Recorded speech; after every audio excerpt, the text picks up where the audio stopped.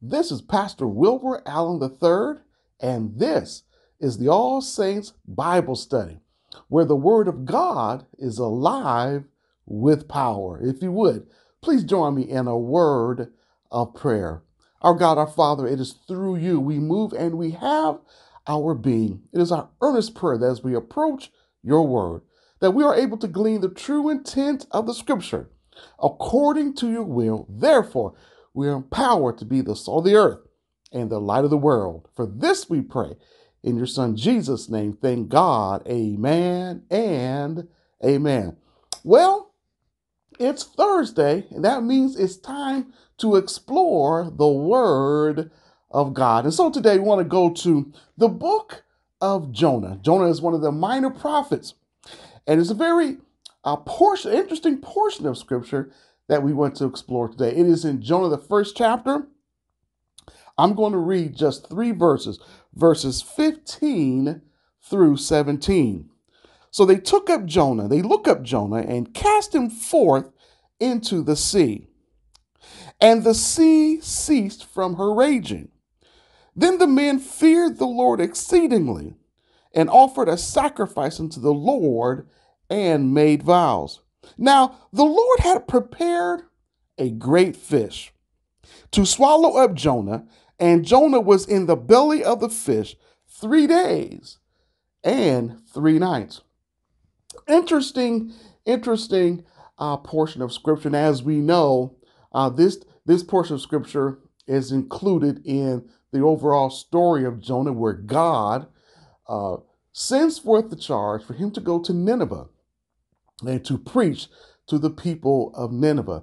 However, Jonah had his reasons as to why he did not want to go to Nineveh and preach what thus saith the Lord. And of course, the Bible details that Jonah went in the opposite direction to a city called Tarshish.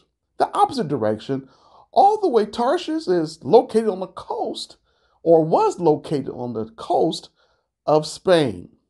And so I want to explore two things. Number one, why Jonah rebelled against God. And number two, the fish. Jonah, number one, he rebels. And then the other essential element in this portion of scripture is the fish. Number one, Jonah had his reasons. He had nationalistic reasons. He had justification as to what determined his desires, determined his reaction to God's call. Consequently, Jonah being called of God, being a prophet of God. So the Bible says the Lord prepared a fish. This was not any any typical fish. It was a great fish in which it was able to swallow Jonah, Jonah being in the belly of a fish. So that means the digestive processes that the fish typically had, God ceased them so that Jonah would come to humble himself and submit to the ultimate will of God. And of course, when he prays the prayer of forgiveness, the Bible says that the, that the fish spewed him upon the shore. And then the word comes to him again this time he straightway goes to Nineveh. So he had these issues. He had he had desires that would, did not uh, were not did not jive with what God wanted him to do. Secondly, there, as I said, there was the fish. I interesting enough, I sense a parallel to Jonah's reaction and how God reacted to Jonah's decision. So today we have we have the church is struggling with its own desires, its own wants, which are not or does not jive with the will of God. I hasten to say there's a dreadful uh, uh, theology that is uh, that is it's it's uh, is very much included in it's one of the primary tenets of American contemporary Christianity and that is called prosperity gospel. it, it is a gospel that allows the believer to revel or to uh, be attracted where it's a hybrid of faith and some of the values of our 21st century American culture. One of them is narcissism, another is materialism. There's a whole host of issues. And so it allows the believer to embrace some of the beliefs of this culture. And so now the Word of God, Jesus sends forth the Great Commission. He says, Go ye into all the world and preach the gospel to every creature. So when you peel back the layers of prosperity gospel, it does not embrace the Great Commission that Jesus gave to his church. Yes, the church belongs to Jesus. And so the church is in a position now in this country where it wants to embrace our own desires, embrace our own lust, embrace our own personal views. And it's popular in this country. But yet, the charge that Jesus put forth, it continues to persist during this dispensation of grace. And so, yes, just as Jonah had a fish, we as believers in America should be concerned that maybe the Lord might just have a fish for us.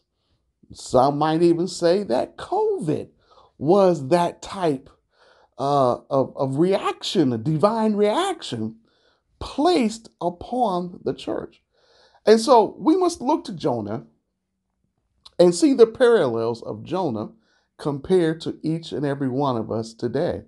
And I just want to say that each and every one of us, each, each and every one of us, we are given the charge to proclaim the gospel. And I want to share something with you that the Lord recently uh, gave me. As a matter of fact, it was earlier today. The, the, I believe this is a time where the church must be on the offensive, not defensive or even reactionary, but the church must be on the offensive for the gospel. We're living in a very aggressive culture, a very seductive culture. Now, Nineveh had its Nineveh had its devices. Nineveh, Nineveh was the most powerful country in the most powerful or the largest city in the world at that time. It was the capital of the Assyrian Empire. But Nineveh was wicked. And so now we must come to the point that God wants the church, just as he called Jonah to go and to preach in Nineveh, we must go on the offensive, proclaim the gospel with an aggression. And this is what Jonah did not want to do. And so we have to understand take a look at our culture. The culture is crying out for the gospel of Jesus Christ. Whether the culture is not aware of it or not, it the good news of Jesus Christ must be proclaimed in a myriad of ways by all believers. God has a way of placing us in different different circumstances, and then we proclaim it all different ways based upon our calling because the church does not want to have an encounter with the fish. Now let me add with let me add something to this. This this this story of Jonah is almost like a mathematical equation. You know, you have Jonah plus rebellion equals the fish. That's it. Jonah plus disobedience against God equals fish. Just as one plus one equals two, Jonah plus his disobedience equals an encounter with the fish. And so the church must be faithful to the charge that God has given us. So I want to submit to you there is a parallel between Jonah and the fish. and the charge that the church has today and the culture in which we are to proclaim the gospel. And now it's time, it's time for the offense to come onto the field. Yes, like Pat Mahomes leads the uh, Kansas City Chiefs, and this it's a dynamic offensive offense. They have great plays, great passes, and so we must be likewise the Kansas City Chiefs. We must come to the line of scrimmage and be aggressive, throw passes downfield, have great running game, so that we can proclaim the, the, that Jesus Christ is the Son of the living God and that his blood still has power. It is time for the offense. It is time for the church to gather its offensive line. It's time for the church to gather its running backs. See, all these positions, they all have different jobs, different callings. The quarterback has a call, the offensive line has a call, the receivers, they have a call. It's time for the offense to come together and score touchdowns. Yes, touchdowns, touchdowns for Jesus. And so we must understand accept the reality that there is this parallel. And I do not want to experience or have a fish encounter. And yes, God, He will prepare a fish. So, in my closing, let us be faithful. Let us be on the offense. Look to the story of Jonah and how God has the sovereign authority to call any of us to put forth the charge. Let us be like Noah. We read the story of Noah.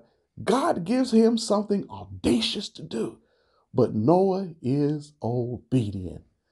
And in that, Noah, his family, they were saved from the judgment of God. See, fish can be judgment. In Jonah's case, it was a time of deliverance, a time of humbling himself before God.